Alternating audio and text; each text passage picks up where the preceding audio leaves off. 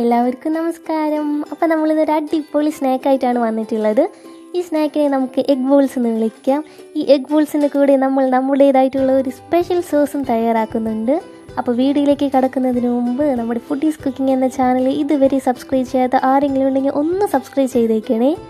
നിങ്ങൾ സബ്സ്ക്രൈബ് ചെയ്യുമ്പോൾ അതിന്റെ തൊട്ടപ്പുറത്തുള്ള ബെല്ലൈക്കണിൽ ഓൾ കൂടി പ്രസ് ചെയ്താൽ നമ്മളിടുന്ന എല്ലാ വീഡിയോസും നിങ്ങൾക്ക് അപ്പം തന്നെ കാണാവുന്നതാണ്. അപ്പോൾ നമുക്ക് വീഡിയോയിലേക്ക് കിടക്കാം. അപ്പോൾ നമ്മുടെ എഗ് ബോൾസ് തയ്യാറാക്കുന്നതിന് വേണ്ടിയിട്ട് ഒരു മൂന്ന് മുട്ട പുഴുങ്ങിയതിന് ശേഷം ചെറുതായി ഒന്ന് ഗ്രേറ്റ് ചെയ്തിട്ട് ഒരു ബൗളിലേക്ക് ചേർത്ത് കൊടുക്കുകയാണ്. ഇതിലേക്ക് ഒരു സവാള പൊടി പൊടിയായി അരിഞ്ഞത് ചേർത്ത് കൊടുക്കുകയാണ്.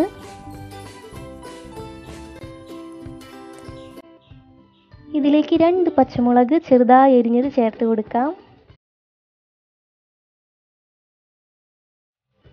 ഇതിലേക്ക് ഒരു ബൗൾ ബ്രെഡ് ക്രംസ് ചേർത്ത് കൊടുക്കുകയാണ്. ഇനി ഇതിലേക്ക് ഒരു സ്പൂൺ സോയാ സോസ് ചേർത്ത് കൊടുക്കാം.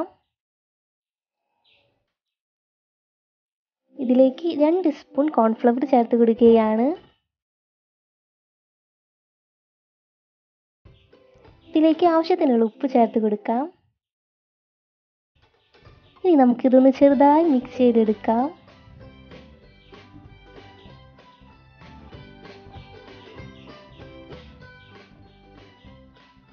ഇനി ഇതിലേക്ക് ചെറുതായി എരിഞ്ഞ മല്ലിയിലയും പുതിനയിലയും ചേർത്ത് കൊടുക്കുകയാണ്. ഇതെല്ലാം ചേർത്ത് കൊടുത്തിട്ട് നമുക്ക് ചെറുതായി ഒന്നും കൂടി മിക്സ് ചെയ്തെടുക്കാം.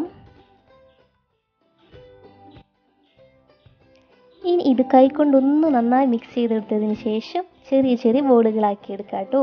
അപ്പോൾ നിങ്ങൾ ബോളുകളാക്കുന്നതിന് മുമ്പ് ഇതിലേക്ക് ഇനി വെള്ളമൊന്നും ആഡ് ചെയ്യണ്ട കേട്ടോ. കാരണം സവാളയിലൊക്കെ ആവശ്യത്തിന് വെള്ളം ഉണ്ടാകും അപ്പോൾ ഇനി ഇതിലേക്ക് വേറെ വെള്ളത്തിന്റെ ആവശ്യമില്ല.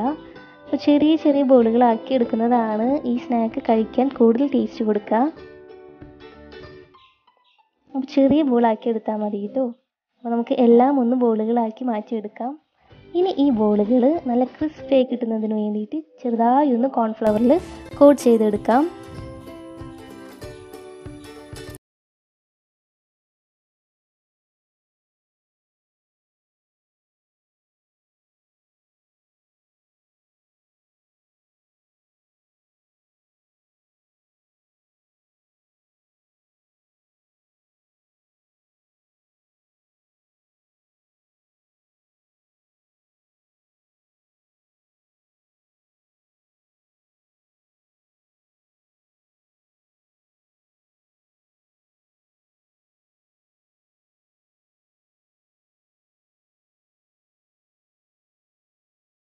നിന്ന് ഒരു പ്ലേറ്റിലേക്ക് മാറ്റാം. അപ്പോൾ നമ്മുടെ എഗ് ബോൾസിന്റെ പുറമെ നല്ല മുരി മുരിഞ്ഞാണ് ഇരിക്കുന്നത്. ഉള്ളിൽ നല്ല സോഫ്റ്റ് ആയിരിക്കും. അപ്പോൾ നിങ്ങൾ എഗ് ബോൾസ് എണ്ണയിലേക്ക് ഇടുന്ന സമയത്ത് ഗ്യാസ് സ്റ്റവ് ഹൈ ഫ്ലെയിമിൽ വെച്ചോളോ. അതുപോലെ തന്നെ എണ്ണയിൽ നിന്ന് എടുക്കുന്ന സമയത്തും ഗ്യാസ് സ്റ്റവ് നല്ല ഹൈ ഫ്ലെയിമിൽ വെച്ചോളോ കേട്ടോ. എന്നാലാണ് എണ്ണയൊക്കെ കുടിക്കേണ്ടത് നല്ല ക്രിസ്പി ആയിട്ട് പുറമേ ഉള്ളും ഒക്കെ കിട്ടുള്ളൂ. ഉള്ളു നല്ല സോഫ്റ്റ് ആയിരിക്കും പുറമേ നല്ല ക്രിസ്പി ആയിരിക്കും.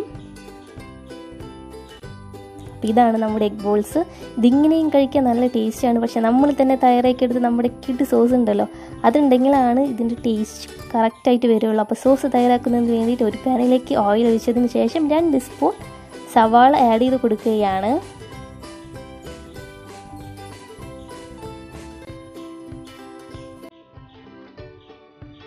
ഇനി ഇതിലേക്ക് ഒരു പച്ചമുളക് ചെറുതായി എരിഞ്ഞത് ചേർത്ത് കൊടുക്കാം. ഇത് ചെറുതായി ഒന്ന് വഴറ്റിയെടുക്കുക. സവോള നന്നായിട്ട് വഴറ്റുണ്ട് കേട്ടോ. കാരണം അത് ചെറുതായി ഒന്ന് കടിക്കാൻ കിട്ടണം. അപ്പോഴാണ് ഈ സോസിന് നല്ല ടേസ്റ്റ് കിട്ടുക. ഇനി ഇതിലേക്ക് ഒരു സ്പൂൺ സോയ സോസ് ആഡ് ചെയ്ത് കൊടുക്കുകയാണ്.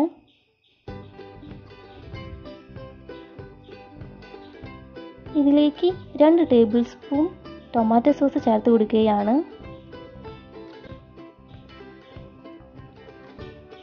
ഇതെല്ലാം കൂടി നന്നായി ഒന്ന് മിക്സ് ചെയ്തെടുക്കാം.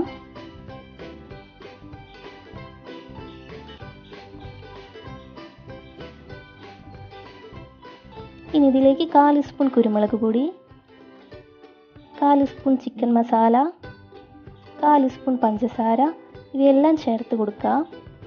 ഇതൊന്ന് നന്നായി മിക്സ് ചെയ്യുക. ചിക്കൻ മസാലയ്ക്ക് പകരം ചാറ്റ് മസാല ആയാലും ചേർത്താൽ മതി കേട്ടോ ഇനി ഇതിലേക്ക് ചെറുതായി എരിഞ്ഞ മല്ലിയിലയും പുതിനയിലയും ചേർത്ത് കൊടുക്കുകയാണ്. ഈ മല്ലിയിലയും പുതിനയിലയും ഒക്കെ ഒന്ന് ചെറുതായി ഒന്ന് വാടി കിട്ടണം.